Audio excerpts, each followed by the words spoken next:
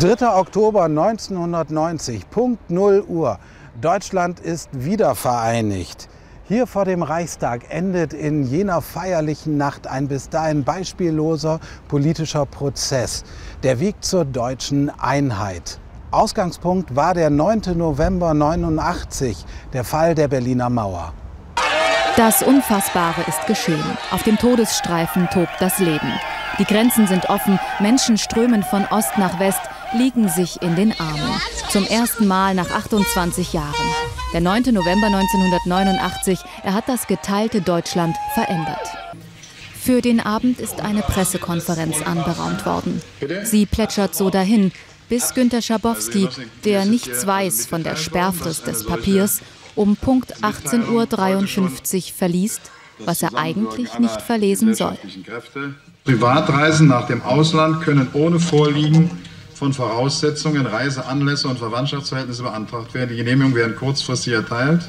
Klartext, die Bürger der DDR dürfen das Land jederzeit verlassen. Reisefreiheit für alle.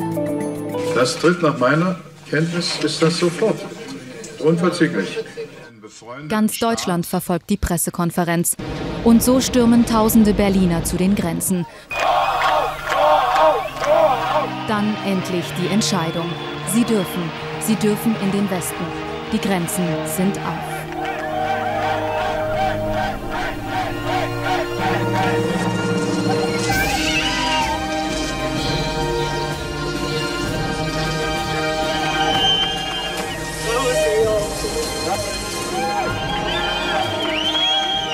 Das ist Wahnsinn für uns. Also, wir sind fassungslos. Die Nacht, in der die Mauer fiel, Sie hat alles verändert. Es war eine Nacht des friedlichen Umbruchs, der Freudentränen, der Freiheit. Und es war die Nacht, in der aus Ostdeutschland und Westdeutschland nach 28 Jahren wieder Deutschland wurde. Jetzt wächst zusammen, was zusammengehört. Für die Verantwortlichen hier in Bonn, aber auch Ostberlin müssen die visionären Worte Willy Brandts wie ein politischer Auftrag geklungen haben. Nur wie sollte dieses Ziel erreicht werden? Kapitalismus traf auf Sozialismus, Demokratie auf Diktatur. Unüberbrückbare Gegensätze, so schien es. Doch tatsächlich dauerte es nicht mal ein ganzes Jahr. Nur ganze 329 Tage vergingen bis zum Tag der deutschen Einheit am 3. Oktober. Die Menschen in Ost und West akzeptierten einfach keine Grenzzäune, keine Mauern mehr, wie hier am Brandenburger Tor kurz vor Weihnachten 89. Das weltweit berühmteste Symbol für die Wechselfälle deutscher Geschichte, das Symbol für die Teilung Europas. Seit heute Nachmittag gibt es hier eine offene Grenze. Riesenjubel für Helmut Kohl, Hans Modrow und die beiden Regierungschefs des geteilten Berlin. In ihren Ansprachen mahnten alle Redner zur Ruhe und Besonnenheit, aber sie sprachen auch von einer großen neuen Hoffnung für die Zukunft. Die Öffnung des Brandenburger Tors signalisiert heute der ganzen Welt die denkbar beste Absicht, Begegnungen von Menschen zu fördern. Nehmen Sie es als ein neues Zeichen des guten Willens, meiner Regierung, diesem humanistischen Anliegen zu dienen. Während die Ungeduldigsten schon zur Mauer stürmten, sagte der Kanzler, wir haben in 40 Jahren vieles erlebt, wo wir uns auseinandergelebt haben. Das wollen wir jetzt in gemeinsamer Solidarität verändern, aufeinander zugehen, so wie dies eben hier symbolisch geschehen ist, als der Ministerpräsident und ich uns die Hand reichten am Brandenburger Tor. Gerade hier vor dem Brandenburger Tor möchte ich unseren Freunden, unseren Partnern und Nachbarn in Ost und West zurufen, von diesem Platz aus geht die Botschaft aus der DDR und aus der Bundesrepublik Deutschland. Wir wollen Frieden, wir wollen Freiheit, wir wollen unseren Beitrag zum Frieden in Europa und in der Welt leisten. Ein großer Tag war das für Berlin und es wird zur Stunde noch weiter gefeiert. Während Berlin sich noch im Ausnahmezustand befindet, entwickelt die Bundesregierung hier in Bonn erste konkrete politische Ideen einer deutsch-deutschen Annäherung. Getrieben von den Ereignissen stellt Bundeskanzler Helmut Kohl keine drei Wochen nach dem Mauerfall seinen Fahrplan zur deutschen Einheit in zehn Punkten vor. Wir sind aber auch bereit, konföderative Strukturen zwischen beiden Staaten in Deutschland zu entwickeln mit dem Ziel, eine Föderation das heißt eine bundesstaatliche Ordnung in Deutschland zu schaffen. Das aber, meine Damen und Herren, setzt zwingend eine demokratisch legitimierte Regierung in der DDR voraus. Dabei könnten wir uns nach freien Wahlen schon bald folgende Institutionen vorstellen. Einen gemeinsamen Regierungsausschuss zur ständigen Konsultation und politischen Abstimmung, gemeinsame Fachausschüsse, ein gemeinsames parlamentarisches Gremium, und manches andere mehr angesichts einer völlig neuen Entwicklung. Wie ein wiedervereinigtes Deutschland schließlich aussehen wird, das weiß heute niemand. Dass aber die Einheit kommen wird, wenn die Menschen in Deutschland sie wollen, dessen bin ich sicher. Der Prozess der deutschen Einigung ist aufs engste mit dem Prozess der europäischen Einigung verknüpft. Eine Konföderation mit frei gewählten gemeinsamen Organen und gemeinsamen Institutionen und Gremien könnte auf wichtigen Gebieten, so auf dem der Wirtschaft, des Verkehrs, der Kultur oder des Umweltschutzes, einheitliche Lebensverhältnisse schon in der Phase herstellen, in der die Bündnisse noch bestehen. Die Ereignisse im anderen Teil Deutschlands, so meinte man zu spüren, haben nicht nur dort einiges bewegt, sondern auch im Bundestag zu Bonn. Was sich seit heute verändert hat, machte sogar den FDP-Vorsitzenden nachdenklich. Unsere Debatten, unsere Meinungsunterschiede, unsere eigenen Probleme, die ihre Bedeutung ja gewiss nicht verloren haben, sind ziemlich blass geworden. Sie sind zusammengeschrumpft angesichts der Entwicklung und des Umbruchs in Osteuropa und vor allem in der DDR. Sie haben schlicht an Interesse verloren. Doch als der Kanzler noch sein Manuskript sortierte, spürte er, dass er mit neuen Ansätzen etwas losgetreten hatte. Parteiübergreifende Gemeinsamkeit. Bei allem Streit, der im Einzelnen bei der Umsetzung dieser Punkte bleiben wird oder bei der Interpretation des einen oder anderen Punktes, bieten wir Ihnen unsere Zusammenarbeit bei der Verwirklichung dieses Konzepts, das auch unser Konzept ist, an. Die Grundübereinstimmung aller Parteien, mit Ausnahme der Grünen in den drängenden Schicksalsfragen der Deutschlandpolitik, war wohl noch nie, auch nicht in den schweren Zeiten des Mauerbaus, so komplett wie jetzt, da die Mauer praktisch gefallen ist. Wenn jemals der Stoff aus dem Geschichte ist, spürbar in eine Debatte verwoben war, dann war das heute im Bundestag der Fall. Rudolf Seiters, Sie waren als Kanzleramtschef natürlich auch in jener Nacht im Bundestag und haben die Debatte verfolgen können. War es wirklich die geschichtsträchtige Debatte damals zum Zehn-Punkte-Plan? Es war eine geschichtsträchtige äh, Debatte. Äh, es war eine Überraschung. Es sollte auch eine Überraschung sein, weil der Bundeskanzler äh, auf dem Standpunkt steht, wenn wir das vorher besprechen, dann wird es durchgestochen und dann ist es in der Welt. Und deswegen wurden ja weder die Alliierten informiert, mit Ausnahme von Präsident Bush, und auch nicht der Koalitionspartner. Äh, die Rede war sehr sensibel abgefasst, auch vorsichtig abgefasst. Sie war ja eine Antwort auf den Vorschlag von Modrow mit der Vertragsgemeinschaft und deswegen konföderierte Strukturen. Ähm, also mit anderen Worten, äh, was äh, ähm, nach dem Mauerfall hier gesagt wurde, war ein Angebot an die DDR zur Zusammenarbeit, äh, war die Bereitschaft zu großer wirtschaftlicher und finanzieller Hilfe, aber alles unter, dem, unter der Voraussetzung, dass es freie Wahlen gibt und dass äh, die SED ihr äh, Parteienmonopol äh, aufgibt und anderes äh, mehr. Äh, die Reaktion war dann ja auch entsprechend sehr gut von Carsten Vogt von der SPD. Er wurde später zurückgepfiffen, aber er hat in der Debatte äh, fast in allen Punkten dem Bundeskanzler zugestimmt. Helmut Kohl und die gesamte Bundesregierung wollte doch die Wiedervereinigung. Und trotzdem im Zehn-Punkte-Plan sprechen Sie von zwei Staaten in einer Konföderation. Warum nicht einfach Wiedervereinigung? Weil die Begeisterung äh, bei unseren europäischen Partnern mit Blick auf die Wiedervereinigung nicht besonders ausgeprägt war.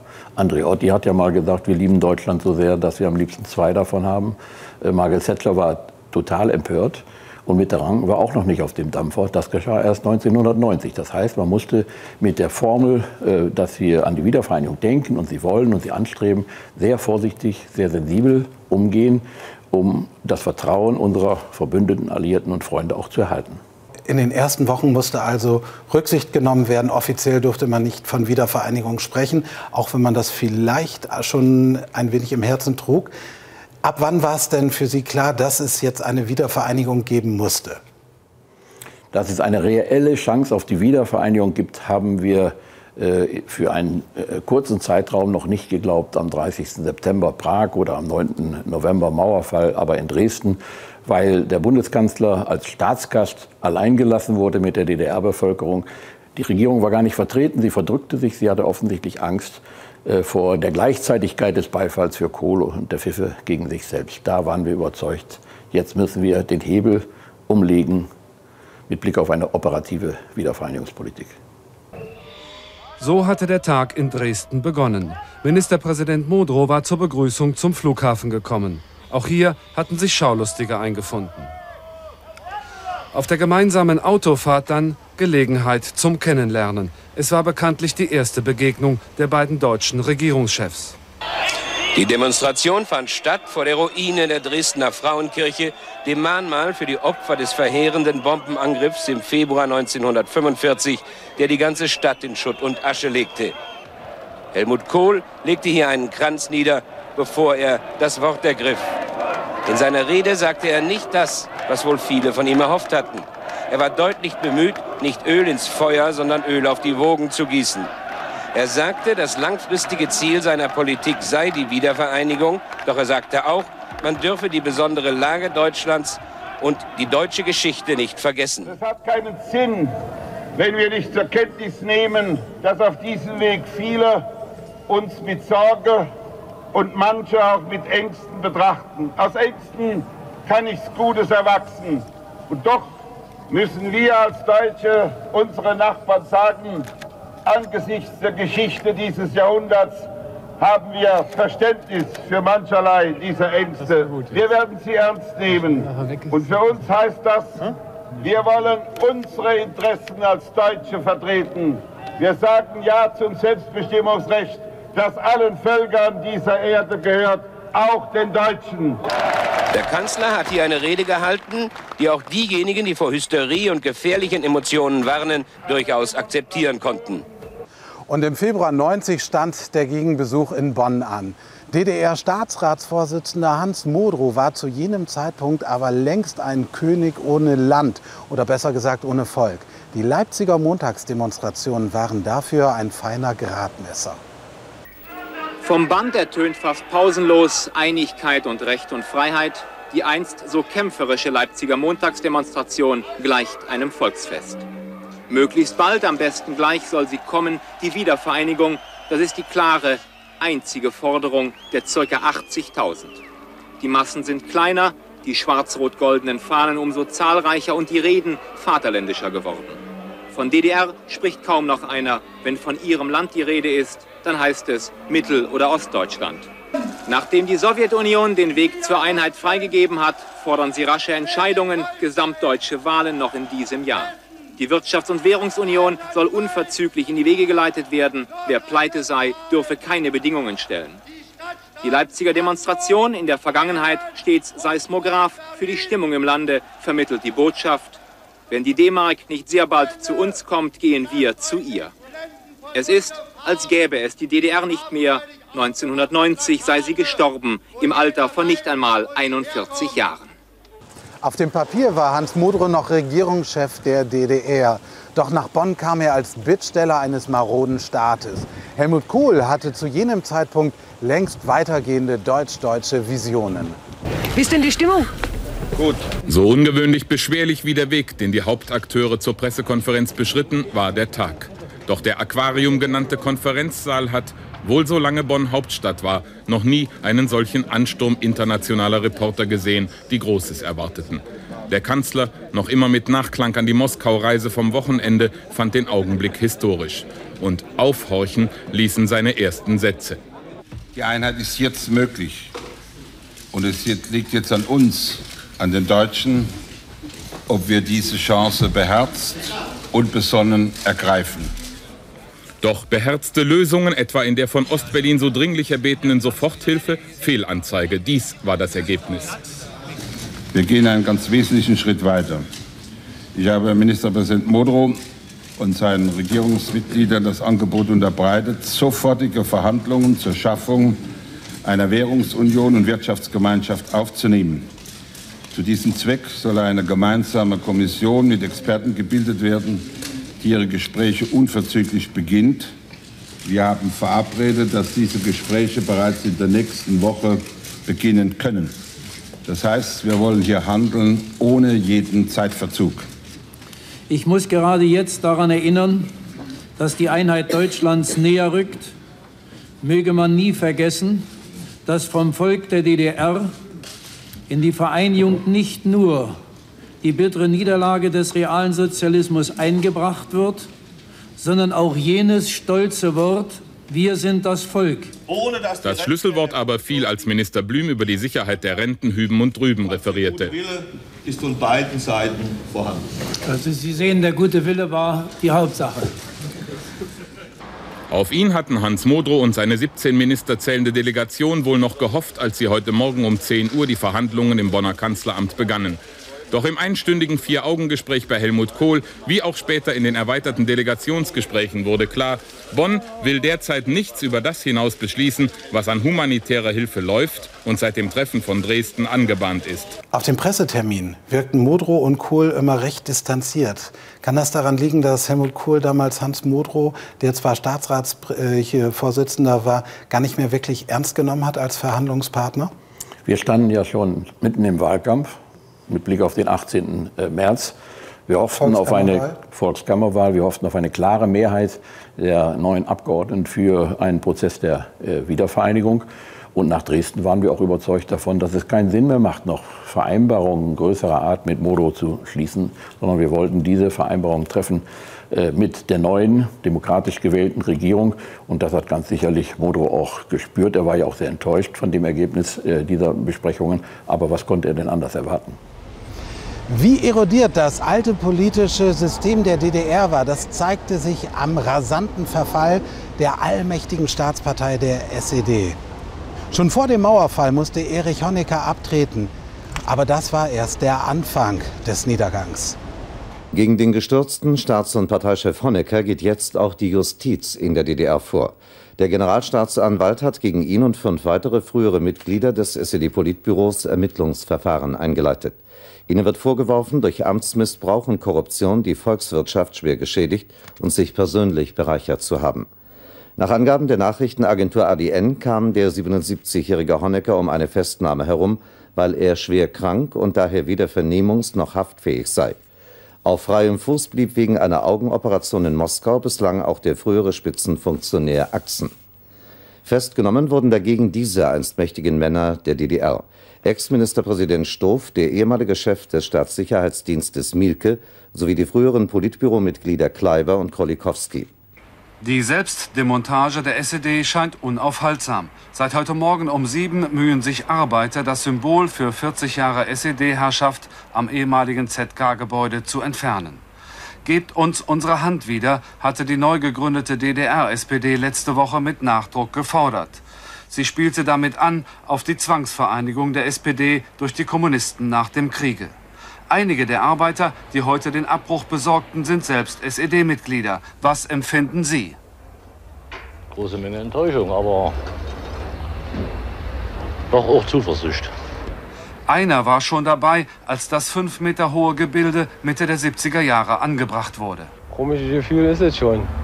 Nach 14, 15 Jahren, dass man sieht, dass das wieder abgebaut wird. Naja, wir sind zufrieden, dass das dem so gekommen ist. Sind Sie Parteimitglied? Eben nicht. Nee? Parteilos. Wäre auch nie reingegangen in den Haufen. Buchstabe für Buchstabe der einstigen sozialistischen Einheitspartei wird nun verladen. Auch Mitarbeiter der Partei, die wir befragten, sehen darin Auflösungserscheinungen. Da die SED jetzt nicht mehr existiert, ist das ja auch weg. Die Partei hat naja, wie soll ich das ausdrücken, irgendwie doch nicht mehr die Berechtigung dazu, dieses Zeichen zu tragen. Ob sich ein Museum für die Einzelteile interessiert, ist nicht bekannt. Bis auf weiteres sollen sie in einem Keller des Parteigebäudes zwischengelagert werden. Gregor Gysi, im Januar 1990 wurde das alte SED-Parteisymbol abgebaut am Gebäude des Zentralkomitees. Sie waren gerade frisch gewählter Parteichef. Wo ist das geblieben, das Symbol? Keine Ahnung, aber ich war dabei. Als ich vorfuhr, wurde es gerade irgendwie nach unten transportiert. Daran kann ich mich noch erinnern. Wo ist denn das geblieben? Naja, es gibt äh, Quellen, die behaupten, es sei verschrottet worden. Ah, das ist in gewisser Hinsicht schade, aber wahrscheinlich hatten wir keinen Lagerraum dafür. Das kann schon sein, dass es dann verschrottet worden ist. Aus heutiger Sicht doch ein Wahnsinn, ein zeithistorisches richtig, Dokument. Richtig, aber wissen Sie, wenn man so erneuert und alles neu machen will, dann ist man irgendwie froh, das Alte loszuwerden und da begeht man leider auch Fehler. Das stimmt. Aber äh, also ich habe das ganz bestimmt nicht angeordnet, aber weiß ich nicht. Äh, trotzdem interessant, was Sie sagen. War übrigens für mich mit einer der spannendsten Zeiten meines Lebens. Was ich da erlebt habe in der Zeit von 89 bis zum 3. Oktober 90, das war wirklich aufregend. Auch die Gespräche, die ich geführt habe und so. Kann ich Ihnen gar nicht alles erzählen. Aber an das Symbol erinnere ich mich noch. Und wissen Sie, das war auch interessant. Wenn ich Ihnen ein kleines Geheimnis erzählen darf, erfährt ja keiner. Ne? Und zwar der Verteidiger von Erich Honecker, dem ich ja übrigens nie in meinem Leben begegnet bin, regte sich furchtbar über mich auf, weil er in der aktuellen Kamera gesehen hat, als das Symbol abgebaut wurde, dass ich dazu gelacht hätte. Und er sagt, das ist doch der Gipfel der Frechheit, dass er dazu lacht. In Wirklichkeit war es so, dass ich ankam, ausstieg und die Arbeiter standen oben und bauten gerade an dem Abzeichen und einer rief zu mir runter, möchtest du eine Flosse haben? Wie so Berliner Bauarbeiter sind und darüber musste ich lachen.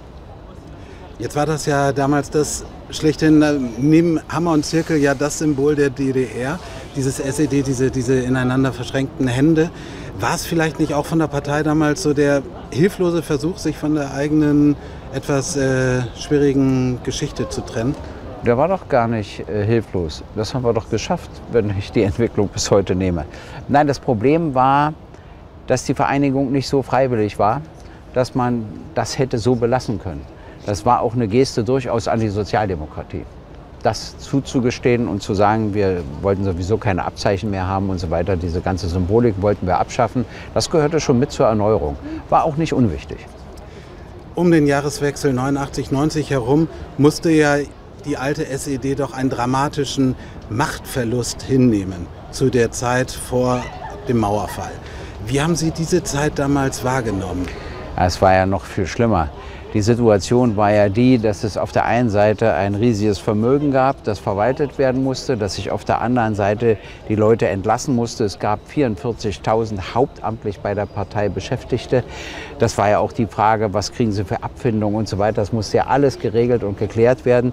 Ich habe die Zahl der bei der Partei Beschäftigten damals auf 75 reduziert, von 44.000 auf 75. Also so gesehen bin ich einer der größten Entlasser, aber ich hatte ja gar keine andere Chance damals. Eng verbunden mit der SED war das Ministerium für Staatssicherheit. Als Schild und Schwert der Partei, so hat sich die Stasi selbst gesehen. Und von hier aus, aus ihrer Zentrale in Berlin-Lichtenberg heraus, hat sie das Land terrorisiert und bespitzelt. Aber im Januar 1990 war Schluss damit. Die Zentrale des ehemaligen Staatssicherheitsdienstes in Ostberlin ist heute von einer aufgebrachten Menschenmenge gestürmt worden.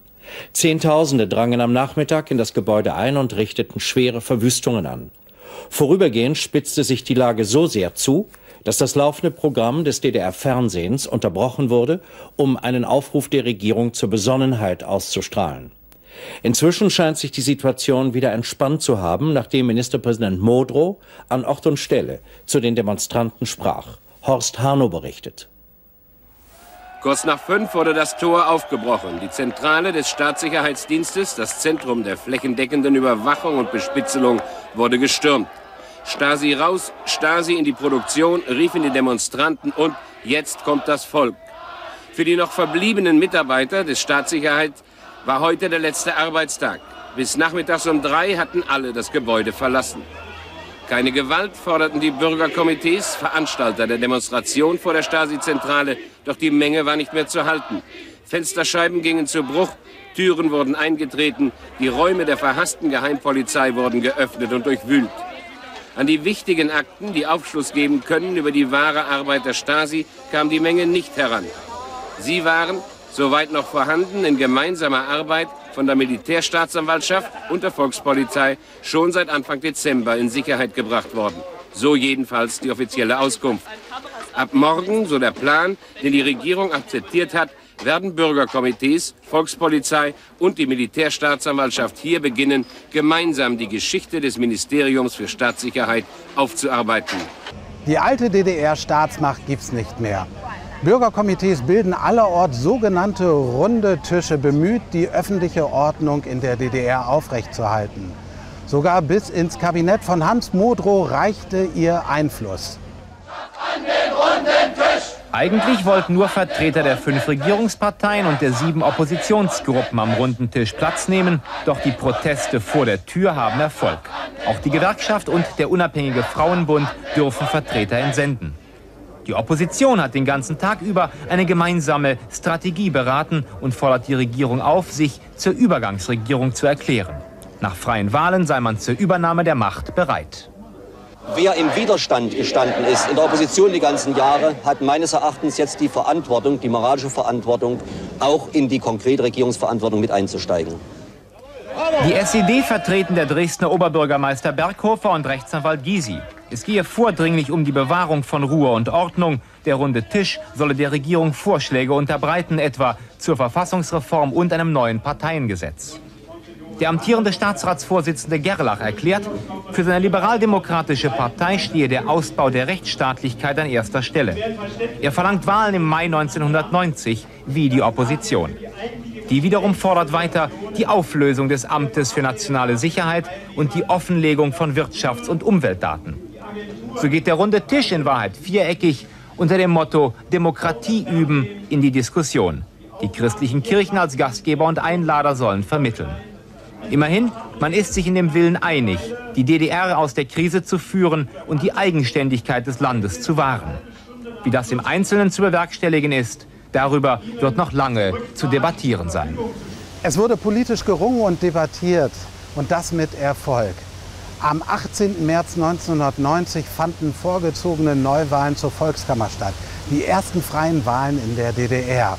Sieger und damit neuer Ministerpräsident wurde Lothar de Maizière. Die DDR hat eine neue Regierung, die erste, die nach freien und geheimen Wahlen gebildet werden konnte. Es ist eine große Koalition, die sich die deutsche Einheit zum Ziel gesetzt hat. Dem Kabinett von Ministerpräsident de Maizière gehören die von der CDU geführte Allianz sowie Sozialdemokraten und Liberale an. Ja-Stimmen 265. Die DDR hat einen neuen Ministerpräsidenten, den ersten frei gewählten ihrer Geschichte. Nur eine Stunde zuvor hatten de Maizière und die anderen Partei- und Fraktionsvorsitzenden der Großen Koalition vertraglich ihre Zusammenarbeit besiegelt. Danach soll die Wirtschafts-, Währungs- und Sozialunion am 1. Juli Wirklichkeit werden.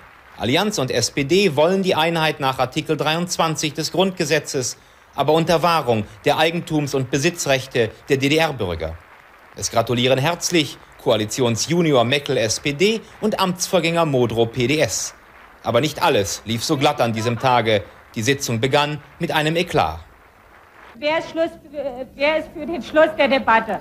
Die Präsidentin kam ins Schleudern. In letzter Minute hatte die CDU einen Antrag eingereicht mit dem Ziel, die alte Eidesformel zu ändern, da eine demokratisch gewählte Regierung schwerlich auf die Verfassung einer sozialistischen Diktatur vereidigt werden könne. Nur viele Abgeordnete kannten die neue Formel noch gar nicht und so folgte eine chaotische Debatte. Die Abgeordneten des Bündnisses 90 verließen den Saal. Ich glaube, dass das, was im Moment passiert, des Hohen Hauses nicht würdig ist. Schließlich einigt man sich auf eine Kompromissformel. Die vom Parlament ebenfalls mit breiter Mehrheit bestätigten 23 Minister werden nicht auf die Verfassung, sondern auf Recht und Gesetz der DDR vereidigt. Wer es möchte, darf dem Eid, ich schwöre, so wahr mir Gott helfe, hinzufügen. Das tun die meisten. Herr de Maizière, der 12. April 1990, das war der Tag, eigentlich Ihr Tag.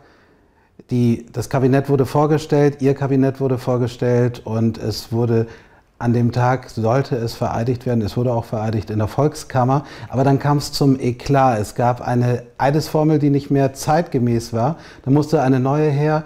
Und dann gab es doch Tumulte ein bisschen im äh, Parlament. Was haben Sie damals gedacht? Das ist doch eigentlich richtig verhagelt worden, der ja, Tag. Also Schon am Morgen war ich zu Frau Bergmann-Pohl gegangen und habe gesagt, für den Fall, dass ich gewählt werde, was ja zu befürchten steht, äh, wir müssen uns Gedanken machen, worauf sie uns vereinigen wollen. Dann dachte ich auf die DDR-Verfassung. Da habe ich gesagt, naja, äh, das ist aber die Verfassung, die ein Staatsziel Sozialismus äh, noch festschreibt und die Freundschaft mit der Sowjetunion, das wollten wir eigentlich nicht mehr. Und dann war große Aufregung und dann haben wir gesagt, es, gab ja so einen Entwurf einer neuen Verfassung, die als Verfassung des runden Tisches bezeichnet wird, aber nicht vom runden Tisch abgesegnet ist. Da war eine brauchbare Eidesformel drin. Und dann haben wir eine Sondersitzung einberufen, verfassungsänderndes Gesetz und dazu braucht man ja zwei Lesungen und dann äh, muss das Gesetz ausgefertigt werden und dann kann es also in Kraft treten. Und das gab in der Volkskammer Tumult, wieso man sich nicht auf die, man hätte die Wahl auch unter dieser Verfassung stattfinden lassen, dann müsste man auch mit dieser Verfassung leben. Das waren vor allen Dingen die Linken, die sich aufregten, dass wir sagten, auf diese Verfassung wollen wir nicht mehr vereidigt werden. Also mit einer erheblichen Verspätung ist es dann dazu gekommen. Und dann war noch der Streit darüber, ob man diese Regierung en bloc wählt oder ob man äh, jeden Minister einzeln wählt. Und da haben wir gesagt, das ist eine prinzipielle Frage. Richard Schröder hat damals eine sehr kluge Rede gehalten und hat gesagt, entweder äh, wir haben eine Präsidialverfassung, da wird jeder Minister einzeln gewählt, oder wir sagen, wir haben eine Koalitionsvereinbarung. Und in dieser Koalitionsvereinbarung war auch die Verteilung der Sitze festgeschrieben welche Partei welche Position besetzt und so weiter und so fort. Und dann wurde also doch am Block, äh, ich wurde einzeln gewählt und die, Rest, die restlichen Minister wurden am Block gewählt. Mm, mir war es sehr recht, dass ich also deutlich mehr äh, Stimmen hatte als meine Kollegen.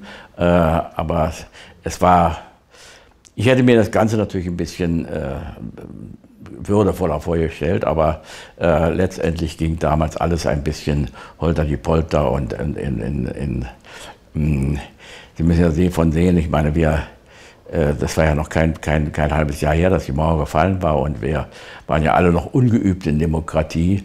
Äh, und viele wussten gar nicht, was eine Geschäftsordnung ist und wie mit der Geschäftsordnung umzugehen ist. Das wussten die paar, die damals synodale Erfahrung hatten, wie Höppner, der ja als Präses der Synode von Sachsen-Anhalt da war und ich als Vizepräses der Bundessynode, aber viele mussten überhaupt erst lernen, wie das funktioniert. Ein ganz dringliches Ziel war die Währungsunion. Warum war das für Sie damals so wichtig? Nach dem Fall der Mauer gingen aus dem Osten pro Tag 2.000 bis 3.000 Menschen weg, weil sie hier keine Hoffnung mehr für sich sahen und für ihre Familie sahen und so weiter. Und äh, wir hörten Sprechchöre, kommt die D-Mark, bleiben wir, kommt sie nicht, gehen wir zu ihr. Und ich habe damals dem Bundeskanzler gesagt, wenn das so weitergeht, müssen Sie mir zu Weihnachten die Bundeswehr nach Leipzig schicken, damit jemand die Straßenbahn fährt. Also wir müssen etwas tun, was den Menschen Bleibehoffnung gibt. Und das war die Einführung der D-Mark. Wir hatten ja schon im Wahlkampf darüber gestritten und ich weiß, was ich gesagt habe im Wahlkampf. Hm, ich sorge dafür, dass ihr zu Weihnachten eure Weihnachtsgeschenke mit der D-Mark bezahlt, worauf die Sozialdemokraten mich überholt und sagten, nein, nein, wir sorgen dafür, dass ihr im Sommer im Urlaub schon die D-Mark habt. Hm, also diese D-Mark hatte auch so was von Symbolcharakter. Wenn die Bundesdeutschen alt sich von ihrem liebsten Kind, von der D-Mark trennen und die mit uns teilen, dann gibt es auch kein Zurück mehr. Also allen war klar, die Einführung der D-Mark ist der erste irrever irre irreversible Schritt zur deutschen Einheit. In Bonn hatte man schon ungeduldig auf den neuen Partner aus Ostberlin gewartet. Die Verhandlungen für eine schnelle Einführung der Währungsunion konnten nun beginnen. Kohl hatte seine Regierungserklärung heute dem Kanzleramtsminister überlassen. Die SPD rügte scharf, dass der Kanzler nicht selbst diese historische Aufgabe, das Parlament zu unterrichten, ergriffen hatte. Seiters stellte Kohls Konzept und die Finanzierung vor. Alle öffentlichen Haushalte, Bund, Länder und Gemeinden werden hierzu ihren Beitrag leisten müssen und auch können.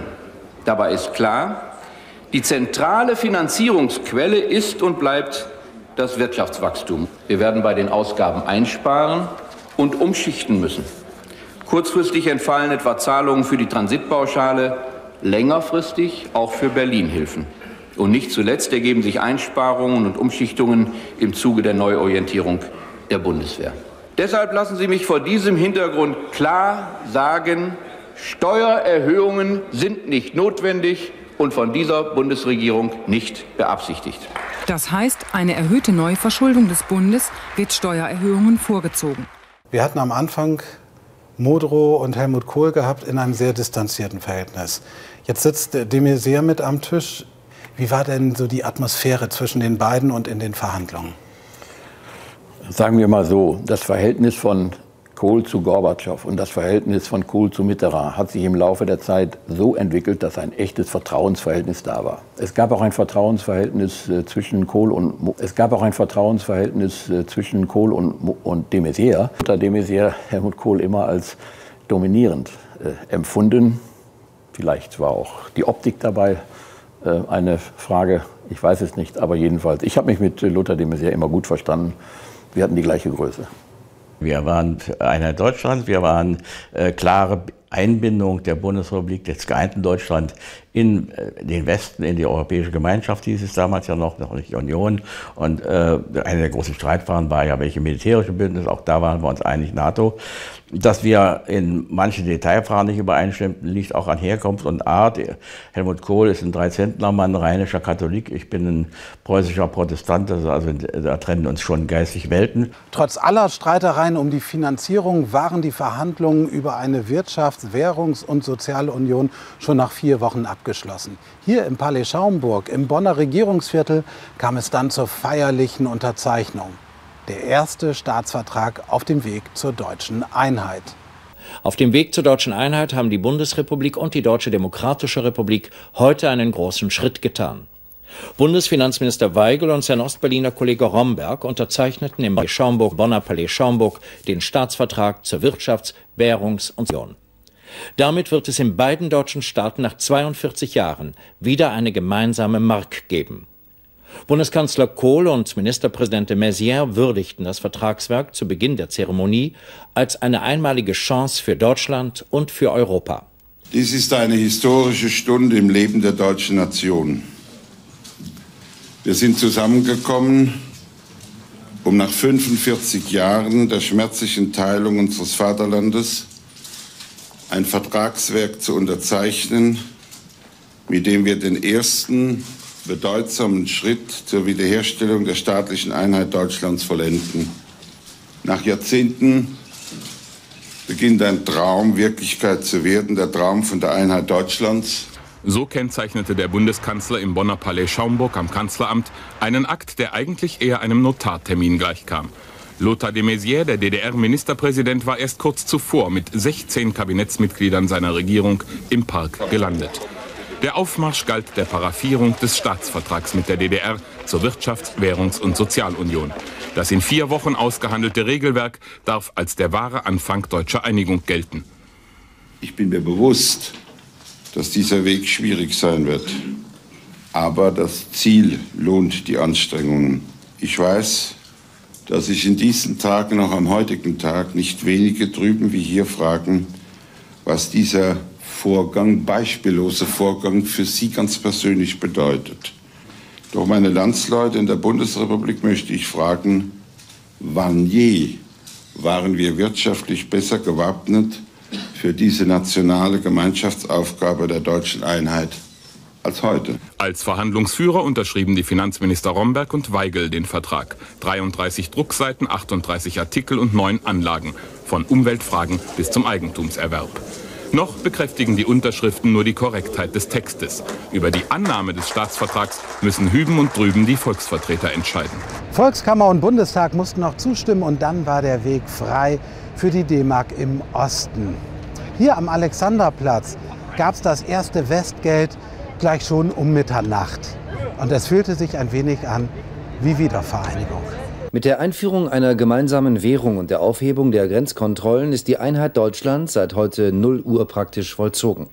Der Staatsvertrag über die Wirtschafts-, Währungs- und Sozialunion zwischen der Bundesrepublik Deutschland und der Deutschen Demokratischen Republik ist in Kraft getreten. Die deutsche Mark wurde damit auch in der DDR einziges offizielles Zahlungsmittel. Die Bürger der DDR begrüßten die Einführung von Marktwirtschaft und D-Mark mit Jubel, Böllerschüssen und Hubkonzerten. Zu nennenswerten Zwischenfällen kam es nicht.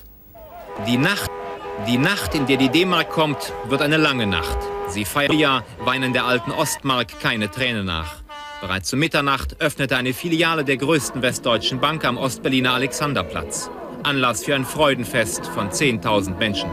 Viele haben ihre letzten DDR-Mark noch in Kneipen und Restaurants umgesetzt. Danach drängt es sie an die Bankschalter. Der Trabi, einst Objekt der Begierde, wird heute getreten. Die Ära der Hartwährung ist angebrochen. Auf das Vorspiel am Alex folgt die Verteilung der D-Mark auf breiter Basis. Um 9 Uhr beginnt der Ansturm, aber in aller Regel verhalten sich die Menschen ruhig und diszipliniert. Denn bei aller Freude wissen sie, dass die Marktwirtschaft ihr Leben vollständig verändern und ihnen Probleme bescheren wird. Manche lassen sich gleich den Höchstbetrag von 2000 Mark auszahlen, die meisten aber begnügen sich mit sehr viel weniger, fangen am Tag der Währungsunion mit dem Sparen an. Dass Geld auch arbeiten kann, für viele eine neue Erkenntnis. Stunden haben sie auf die Öffnung von Banken und Sparkassen gewartet, um möglichst frühzeitig die kostbaren Scheine in die Hand zu bekommen. Das sei ein großer Tag, heißt es immer wieder, aber auch ein sehr aufregender. Man sei unsicher, wisse nicht zurecht, was nun komme, und manchem wird auch ganz bange zumute. Und was ist das heute für ein Tag für Sie? Naja, ganz aufgeregt. Die ganze Nacht war ich aufgeregt. Ich musste immer auf die Toilette gehen. Ne? Und das hat mit Bauchschmerzen war das verbunden. Und so ganz äh, ne, umgestillt bin ich und ich kann es gar nicht beschreiben, wie. So empfinden heute viele. Die Stimmung ist gut, aber nicht überschwänglich. Innerhalb von wenigen Monaten haben sie einen Systemwechsel und eine Währungsreform erlebt. Das will verkraftet werden. Leere Schalter überall entlang der innerdeutschen Grenze. Auch in Lübeck-Schlutop hatten die Beamten um Mitternacht die Ampeln auf grün gestellt und die Schlagbäume geöffnet. Einige Ausflügler gingen gleich ihre eigenen Wege über die grüne Grenze. Unangenehme Begleiterscheinungen der neuen Freizügigkeit registrierten die wenigen verbliebenen Grenzbeamten in Herleshausen. Kaum ein Autofahrer hält sich an das vorgeschriebene Tempo 20 bei der Durchfahrt. Manche fahren 130. Rasend schnell vollzieht sich im Sommer 90 die deutsche Einheit. Aber wie reagiert das Ausland darauf? Was sagt die NATO? Was sagt der Warschauer Pakt dazu? Und wohin mit den annähernd 800.000 Besatzungssoldaten in Ost- und Westdeutschland? Im Auswärtigen Amt fanden sich bereits heute Vormittag Hunderte von Medienleuten aus aller Welt ein. Kaum ein politisches Ereignis in Bonn, das je so viel internationale Aufmerksamkeit auf sich gezogen hat. Die Bundesregierung hatte höchste Sicherheitsstufe für das Außenministertreffen angeordnet. Als erster fuhr Markus Meckel, Außenminister der DDR und gerade 22 Tage im Amt vor, begrüßt vom Gastgeber der Konferenz Hans-Dietrich Genscher. Wenn der deutsche Einigungsprozess abgeschlossen ist, wird es künftig nur noch einen deutschen Außenminister geben. Beim anschließenden Gruppenfoto auf der Rheinwiese demonstrierten alle sechs Außenminister durchaus Harmonie. Umstritten ist ja nicht die deutsche Einigung selbst, sondern vor allem die Frage nach der künftigen Zugehörigkeit des vereinten Deutschlands zur NATO. Dies sei ein historischer Tag, so etwas wie das Ende der Nachkriegszeit, hieß es in Bonn. Nach sechseinhalbstündiger Konferenz gab es heute Abend eine gemeinsame internationale Pressekonferenz. Als Vorsitzender des ersten 2 plus 4 Treffens zog Hans-Dietrich Genscher das Resümee. Mit Befriedigung konnte ich Übereinstimmung in folgenden Punkten feststellen. Der Wille der Deutschen, ihre Vereinigung ordnungsgemäß und ohne Verzögerung zu vollziehen, wurde von allen Teilnehmern anerkannt. Die Einheit Deutschlands soll zu einem Gewinn für alle Staaten werden. Die Ziel der Gespräche ist es, eine abschließende völkerrechtliche Regelung und die Ablösung der vier Mächterechte und Verantwortlichkeiten zu erreichen. Doch dann drängte es ihn, wie die anderen Kollegen auch, als Außenminister seines Landes, der Bundesrepublik, noch einmal zu sprechen und an diesem Tag eine frohe Botschaft zu verkünden. Von diesem ersten Treffen in dem Rahmen der 2 plus 4 Gespräche geht die Botschaft an die Deutschen in beiden deutschen Staaten aus. Der Wille der Deutschen, sich in einem Staat zu vereinigen, wird in Erfüllung gehen. Ähnlich optimistisch äußerten sich auch DDR-Außenminister Meckel und sogar überraschend Eduard Shevardnadze. Der Prozess, die deutsche Einheit herzustellen, sagte Shevardnadze, hat historische Bedeutung für Europa und die ganze Welt. Die Sowjetunion hat die Absicht, konstruktiv daran mitzuarbeiten und die Einheit zu beschleunigen. Der Kalte Krieg ist vorbei. Herr Genscher, der Kalte Krieg ist vorbei. Das waren die Worte von Eduard Shevardnadze, dem sowjetischen Außenminister. Hat er damit auch die Atmosphäre des Beginns des 2 plus 4, der 2 plus 4 Verhandlungen in Bonn beschrieben, richtig? Eigentlich schon der Zeit davor. Es hatte sich eine grundlegende Veränderung äh, ergeben. Das Problem war eher, dass auf westlicher Seite die Veränderung in Moskau nicht realisiert worden war. Man da waren noch einige Leute im Kalten Krieg, wenn Sie bedenken, dass wir bis in äh, das späte Frühjahr 89 hinein hier in der Bundesregierung, aber auch im westlichen Bündnis darüber gestritten haben, ob nukleare Kurzstreckenraketen vier Jahre später eingeführt werden sollten.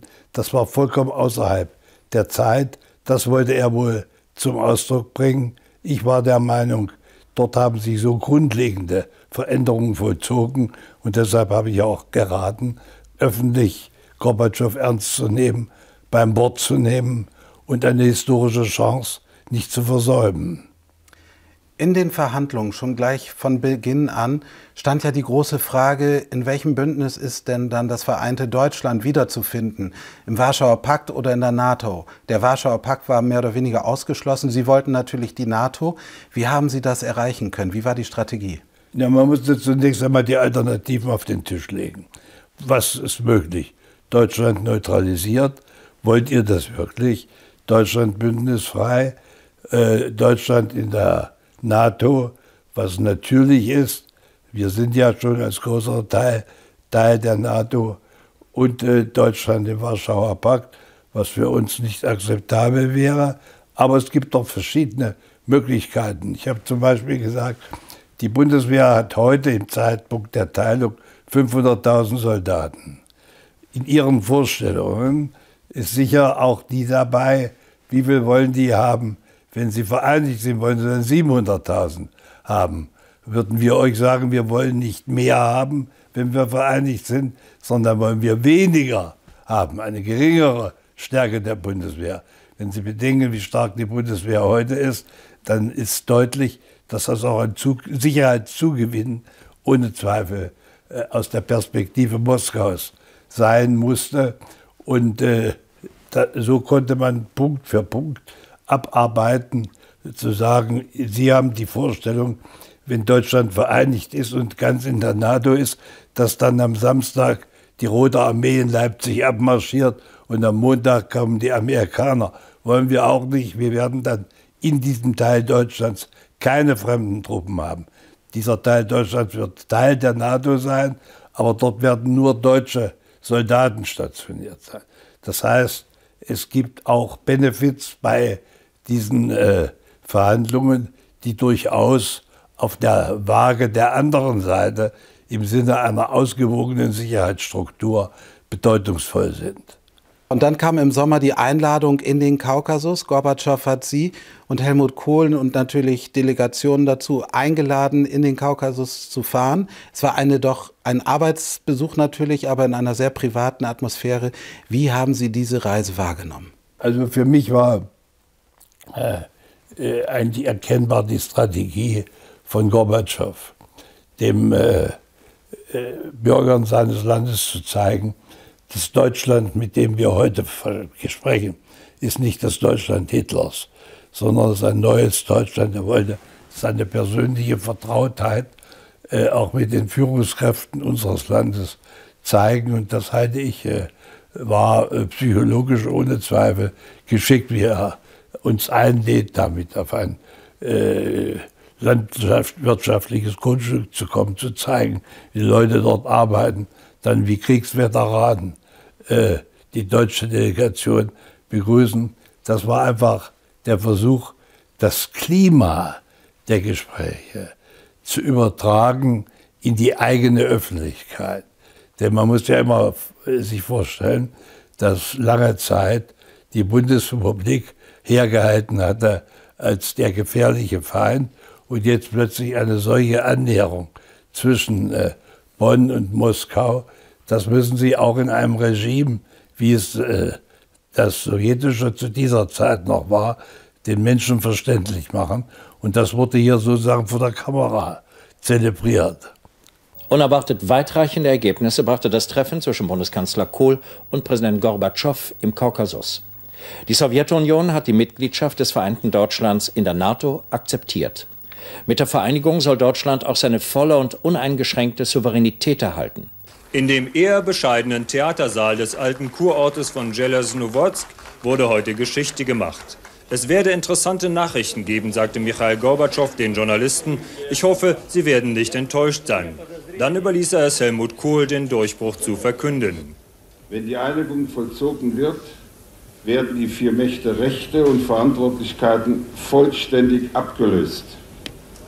Damit erhält das geeinte Deutschland zum Zeitpunkt seiner Vereinigung seine volle und uneingeschränkte Souveränität. Drittens. Das vereinte Deutschland kann in Ausübung seiner uneingeschränkten Souveränität frei und selbst entscheiden, ob und welchem Bündnis es angehören will. Das entspricht der KSZE-Schlussakte. Ich habe als die Auffassung der Regierung der Bundesrepublik Deutschland erklärt, dass das geeinte Deutschland Mitglied des Atlantischen Bündnisses sein möchte.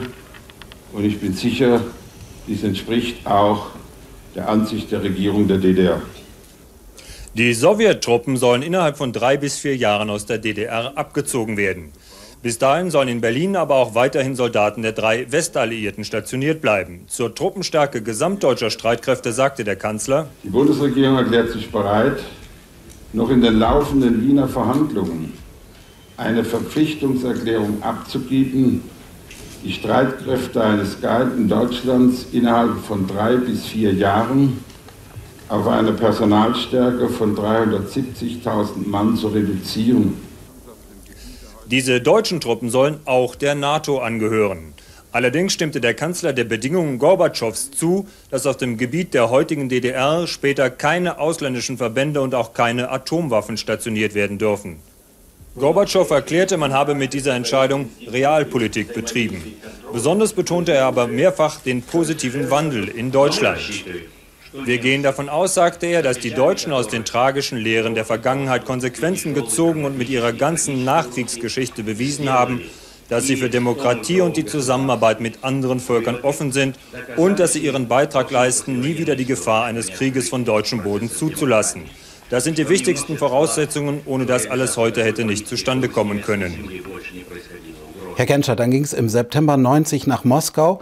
Der 2 plus 4 Vertrag musste eigentlich nur noch unterzeichnet werden. Es war eigentlich alles ausverhandelt. Man konnte sich doch eigentlich ganz entspannt auf einen netten Tag freuen der Unterzeichnung. Aber dann gab es doch noch eine Verwirrung. Es gab eine sogenannte Bademantelkonferenz und äh, Margaret Thatcher hatte da einiges mit zu tun gehabt.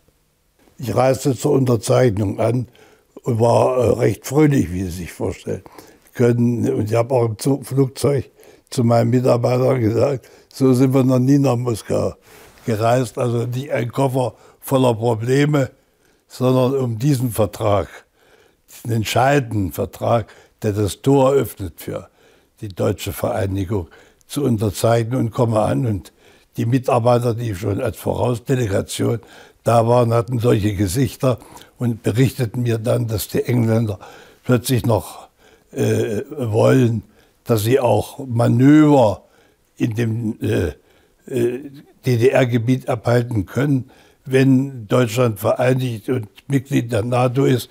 Das war klar, das würde bei den Russen, nachdem sie alles andere zugestanden hatten, nun wahrscheinlich nicht mehr gehen. Und Shevardnadze hat mir das auch ziemlich unverblümt gesagt. Und daraufhin habe ich diesen Text, den Sie da äh, gefunden haben, zunächst sage ich, darf ich mal laut denken? Und äh, dann hat er gesagt, naja, solange Sie Außenminister sind, aber was wird dann? Da habe ich gesagt, auf jeden Fall bleibe ich länger Außenminister als Sie. Habe ich recht behalten übrigens. Haben wir beide gelacht.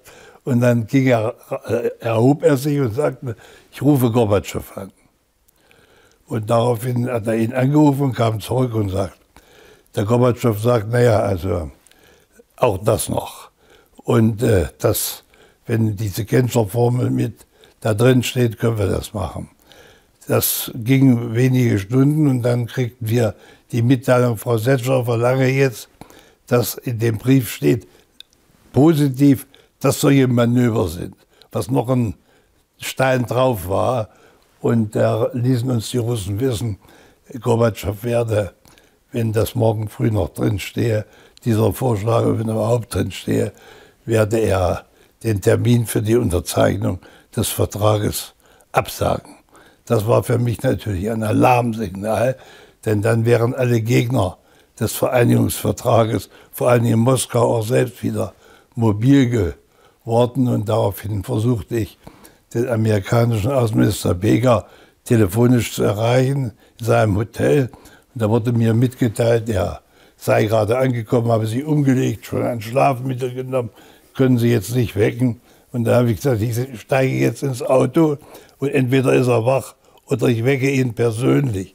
Also ich bin aber mich in mein Auto geschwungen kam an und Beger und drei seiner engsten Mitarbeiter empfingen uns und hatten alle ihre äh, Bademäntel aus dem Hotel an und äh, deshalb Bademäntelkonferenz. Und ich habe gesagt, jetzt müsst ihr uns über die letzte Hürde noch helfen. Am nächsten Morgen war vor der Unterzeichnung ein Frühstück in der französischen Botschaft vorgesehen. Der französische Außenminister war Gastgeber und es war eine Konferenz der westlichen Außenminister. Also äh, weder Shepard noch der Messias waren dabei, sondern nur der Amerikaner, der Engländer und ich. Und äh, äh, ich sagte, Sie müssen ja nicht anfangen, weil Sie den Engländern wahrscheinlich da auch nicht wehtun wollen. Äh, ich werde dafür sorgen, dass die Franzosen als Erste Ja sagen. Und dann habe ich Roland Dumas, meinen französischen Freund und Kollegen, angerufen und gesagt, du musst mir jetzt helfen. Wenn ich das Thema morgen beim Frühstück aufbringe, musst du als Gastgeber sagen, Paris unterzeichnet. Und so war es, er sagte, Paris unterzeichnet. Daraufhin sagte Becker, die Vereinigten Staaten unterzeichnet. Dann sagte ich, die Bundesrepublik unterzeichnet, die DDR unterzeichnet und der englische Außenminister, der unserer Meinung war, den Frau Setzer auch hintergangen hatte mit ihrer Initiative, sagte, selbstverständlich unterzeichnet das Vereinigte Königreich auch. Damit war die Sache beschlossen. 45 Jahre nach Kriegsende ist der Weg Deutschlands in die Einheit und zur vollen Souveränität seit heute frei und besiegelt. In Moskau unterzeichneten am Vormittag die Außenminister der vier Siegermächte und beider deutscher Staaten das Schlussdokument der sogenannten 2 plus 4 Verhandlungen. Der Vertrag regelt die äußeren Aspekte der deutschen Vereinigung. Gemeinsame Presse Außenminister, die abschließende Regelung über Deutschland ist unterzeichnet. Ein Vertrag, der noch von den Parlamenten ratifiziert werden soll. Bedeutet das, dass die Souveränität Deutschlands noch nicht beschlossene Sache ist, fragen die Journalisten? Gegen Ende der Pressekonferenz gibt Außenminister Genscher scheinbar gelassen mit unbewegter Stimme die entscheidende Auskunft. Wir haben heute gemeinsam festgestellt, dass wir bereit sind, am 1. Oktober 1990 in New York bevor die KSZE-Außenministerkonferenz beginnt, ein Dokument zu unterzeichnen, mit dem die Vier-Mächte-Rechte suspendiert werden bis zum Inkrafttreten des Vertrages. Die Suspendierung wird wirksam werden mit dem 3. Oktober 1990, das heißt dem Tag der deutschen Einheit. Das heißt, die vier Mächte werden ihre Rechte die juristisch fortbestehen bis zum Inkrafttreten des Vertrages, bis zum Vertragsinkrafttreten nicht ausüben. Damit wird das deutsche Vereinigte Deutschland am 3. Oktober durch diese Rechte nicht mehr in seiner Souveränität eingeschränkt sein. Das war der Paukenschlag der Pressekonferenz. Die Außenminister Großbritanniens, der USA und Frankreichs hatten gestern Nacht noch mit den sowjetischen und den deutschen Außenministern über kritische Einzelheiten des Vertrags verhandelt. Eine Formel, die Shevardnadze und Genscher erarbeiteten, machte die Einigung möglich. Die künftige deutsche Regierung wird Fragen westlicher Manöverrechte verantwortungsbewusst handhaben, heißt es. Ein Vertrauensbeweis der Sowjets. Außenminister Hans-Dietrich Genscher unterzeichnete als erster. Mit sieben Verhandlungsmonaten enden auch 45 Jahre Nachkriegsära. Ministerpräsident de Maizière sitzt als Außenminister am Tisch. Hinter allen steht Michael Gorbatschow mit dem Tag zufrieden. Alle westlichen Außenminister haben das Ergebnis als Erfolg seiner Politik des neuen weltpolitischen Denkens gewürdigt. Europa, so sagten alle Außenminister, stehe vor dem Schritt zu einer friedlichen und harmonischen Ordnung.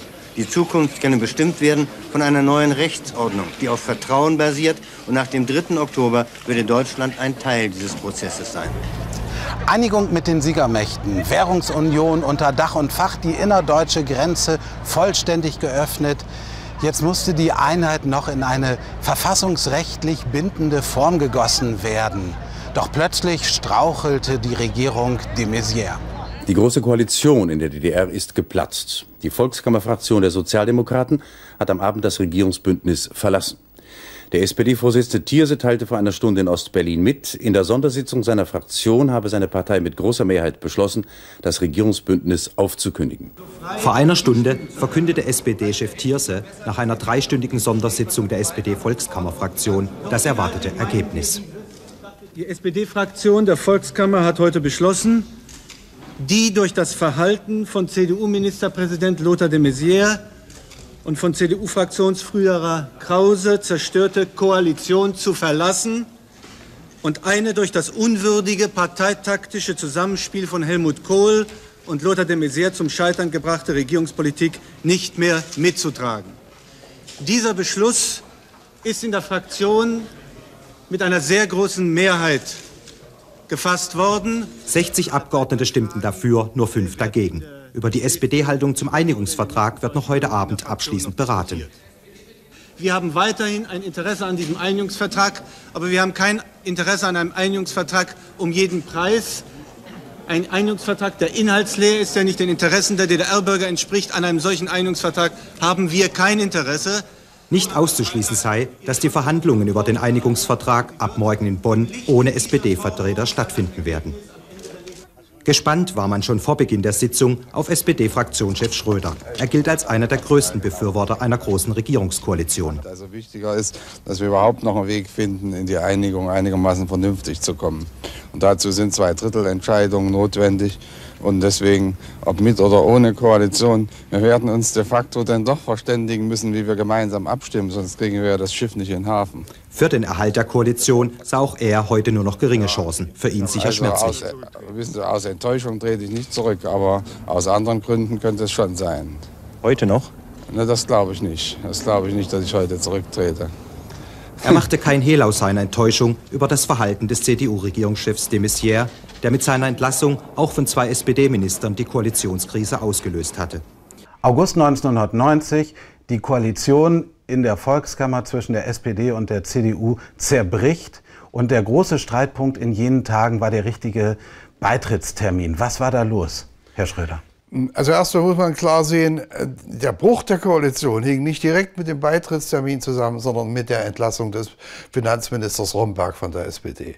Der Streit um den Beitrittstermin war ziemlich bizarr und hing damit zusammen, dass äh, der Ministerpräsident Lothar de Maizière wollte Volkskam äh, die Wahl zu den Landtagen in den neuen Bundesländern, erste, und die Bundestagswahl aus Kontinuitätsgründen auf einem Termin haben. Und da hat die westliche Seite gesagt, das funktioniert nicht. Das ist zu früh, die Wahlperiode ist noch nicht zu Ende. Man müsse den Bundestag extra auflösen. Das ist kein Anlass dafür. Da müsste es innerhalb des Bundestages einen unüberwindlichen Streit geben, ehe wir den auflösen. Also Wahltermin 2. Dezember für den Bundestag und Beitritt vorher irgendwann vorher. Und da kam nun Oskar Lafontaine mit dem glorreichen Vorschlag, wir können auch am 15. September beitreten. Da war zwar der 2 plus 4 Vertrag noch gar nicht ganz zu Ende und der Einigungsvertrag auch nicht abgeschlossen. Das wäre ein internationaler Eklat gewesen und außerdem wäre der der Einigungsvertrag nicht unterschrieben. Da machen wir eben Überleitungsgesetz. Vom Bundestag brauchen keinen Einigungsvertrag. Also das war Profilierungssucht, übrigens auf beiden Seiten, in Erwartung der Bundestagswahl. Ziemlich peinlich eigentlich. Sie haben es gerade peinlich genannt. Ist es nicht vielleicht eher verantwortungslos, dass die beiden Regierungsparteien, die beiden Großen, nicht mehr miteinander weiter zusammenarbeiten wollen, die Koalition einfach zerplatzen lassen, obwohl die Wiedervereinigung noch nicht unter Dach und Fach ist? Also peinlich meine ich auf den Streit um Termin. weil da nicht viel dran hing. Verantwortungslos, hartes Wort, kann man schon sagen, weil die DDR natürlich dann aus ihrer Verhandlungskommission die SPD-Leute äh, rausziehen musste. Und das ist auch geschehen und das hat geheißen, dass in laufenden Verhandlungen der DDR-Partner, der gar nicht ebenso eingearbeitet sein konnte, ersetzen musste. Ich persönlich wollte ursprünglich den Beitritt auf den 14. Oktober haben, weil ich sagte, am 14. Oktober werden die neuen Landtage gewählt. Äh, dann gibt die Volkskammer ihre Macht dem Souverän, dem Volke zurück und das Volk wählt sich seinen neuen Souverän in Form der fünf Landtage. Das wäre da mal äh, staatspolitisch richtiger gewesen. Aber viele wollten den 7. Oktober als 41. Jahrestag der DDR nicht mehr erleben.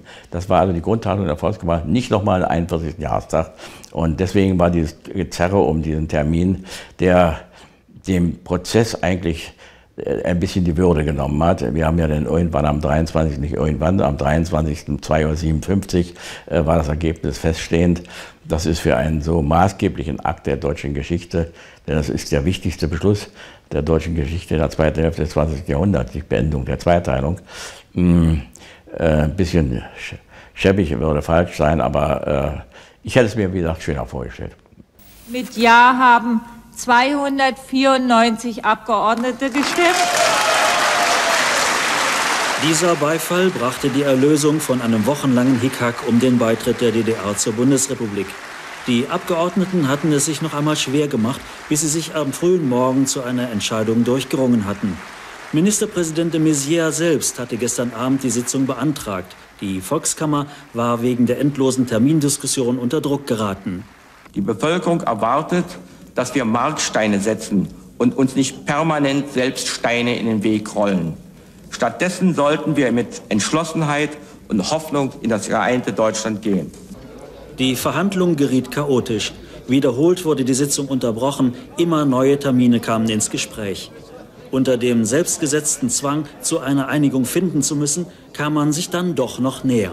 Ein Beitritt so schnell wie irgend möglich nach Einigungsvertrag oder Klärung, ob es einen Einigungsvertrag gibt, nächste Woche und dem Abschluss von 2 bis 4, dann aber sofort. Aber wenn schon, dann muss natürlich wenigstens das Notwendigste vorher geregelt sein. Und das steht noch aus. So hatte der DSU-Antrag auf sofortigen Beitritt keine Chance. Die Abgeordneten erwarten vor dem Beitritt den Abschluss des Einigungsvertrages. Für seine Bewertung des Beschlusses erhielt Gregor Gysi ungewollten Beifall. Das Parlament hat soeben nicht mehr und nicht weniger als den Untergang der Deutschen Demokratischen Republik zum 3. Oktober 1990 Bleiben wir in der Volkskammer. Die Entscheidung Beitrittstermin 3. Oktober 1990, eine Nachtsitzung, eine Sondersitzung, Sie erinnern sich. Sie haben auch noch Worte gefunden, und die Volkskammer johlte, kann man fast sagen, und sie wirkten doch ganz anders. Was ging damals in Ihnen vor? Naja, also zwei Sachen. Das eine ist, der 3. Oktober wurde ja nur gewählt, weil man keinen weiteren Jahrestag der DDR wollte. Äh, und deshalb hat man gesagt, muss vor dem 7. Oktober sein, weil dann wäre die DDR wieder ein Jahr älter gewesen, was ich ja sogar verstehe. Und dann hat man äh, sich sehr schnell auf den 3. Oktober verständigt. Und ähm, die DDR war ja bis dahin mein Leben. Ich bin 1948 geboren, äh, oder besser gesagt geboren worden. Und äh, 90 hörte nun die DDR auf. Und da habe ich mir gesagt, zum Schluss, jetzt wo der Beitritt beschlossen ist, wo die DDR untergeht, muss man doch ein, zwei, drei Sätze sagen. Und zwar im Ernst. Aber wissen Sie, ich finde das gar nicht so schlecht. Im Bundestag haben wir das auch mal wieder abgespielt, was ich gesagt habe. Das war übrigens sehr absichtsvoll, der erste Satz. Ich habe gesagt, Sie haben soeben nicht mehr und nicht weniger beschlossen als den Untergang der Deutschen Demokratischen Republik zum 3. Oktober 1990. Und dieses nicht mehr und nicht weniger sollte ja zweierlei bedeuten. Einerseits, dass es doch ein entscheidender Schritt ist, aber andererseits, dass meine Leute oder die, die irgendwie an der DDR hingen, es auch nicht überziehen sollen. Es ist so schlimm nun auch wieder nicht. Also nicht mehr und nicht weniger. Und dann tobte die Union und klatschte wie verrückt. Und als das hier mal im Bundestag abgespielt wurde, das klatschte wieder die Union. Zweimal habe ich Beifall von der Union bekommen, immer für denselben Satz. Immerhin. Aber Sie waren schon niedergeschlagen. Nein, niedergeschlagen ist falsch, aber ernst war ich, ernst. Der 3. Oktober 1990 war gesetzt, nun mussten noch die Modalitäten des Beitritts geklärt werden. Die Zeit drängte, aber nach nur vier, wenn auch intensiven Verhandlungen war der Einigungsvertrag unter Dach und Fach. Der wichtigste Vertrag in der deutsch-deutschen Geschichte. Einen Tag der Freude und Zuversicht nannten die Unterhändler der beiden deutschen Staaten nahezu einhellig die Unterzeichnung des Vertrages heute Mittag. Monatelang hatten Experten das Rechtssystem der Staaten in allen Bereichen durchforscht und auf mögliche Gemeinsamkeiten hin überprüft. Besonderen Wert legte man auf die partnerschaftliche Einigung. Das Besondere an diesen Verhandlungen war auch die gleiche Zielsetzung beider Seiten.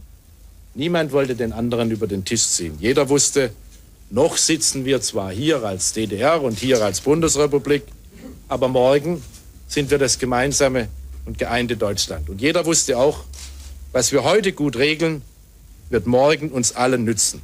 Auch nach dem Einigungsvertrag werden sich nicht sofort alle Blütenträume verwirklichen. Aber wir sind auf dem richtigen Weg. Die Zukunftsperspektiven sind realistisch und so günstig, wie sie es noch nie seit Ende des Krieges waren. Das sollten wir nicht vergessen. Über 900 Seiten Text mit Anlagen sind zusammengekommen. In neun Kapiteln ist der Rahmen für künftiges gesamtdeutsches Recht nunmehr zusammengefasst. Das Grundgesetz gilt in ganz Deutschland. Nun stand der Wiedervereinigung nichts mehr im Weg. Aber vor dem Tag der Einheit stand der Tag des Abschieds. Der 2. Oktober 1990, der letzte Tag der alten Ordnung. Sie waren die ersten frei gewählten Abgeordneten der DDR und die letzten. 181 Tage hatte die Volkskammer Zeit, um vor allem eine Aufgabe zu bewältigen, sich überflüssig zu machen, sich geordnet aufzulösen, sich einzubringen in ein gesamtdeutsches Parlament. Zur abschließenden Feierstunde mit bundesdeutschen Gästen musste das Hohe Haus erneut umziehen, wieder auf der Flucht vor Asbest. So tagte man im Staatsratsgebäude einst, der Amtssitz von Erich Honecker. Sprecher aller Fraktionen würdigten die Arbeit des Parlaments. Fleißig sei es gewesen, wenn auch gelegentlich chaotisch und amateurhaft. Insgesamt, da waren sich alle einig, habe man demokratische Verhaltensweisen gelernt und geübt. Aber auch das zog sich durch alle Reden. Die Last der Vergangenheit wird die ehemaligen DDR-Bürger noch lange beschweren. Bewältigung, nicht Verdrängung, tue Not. Die NVA, die Nationale Volksarmee der DDR, hat sich heute aufgelöst. Sie wird um Mitternacht formell der Bundeswehr unterstellt. Mit dem 2. Oktober, 24 Uhr, hört nach dem Willen unseres Volkes die Deutsche Demokratische Republik auf zu bestehen.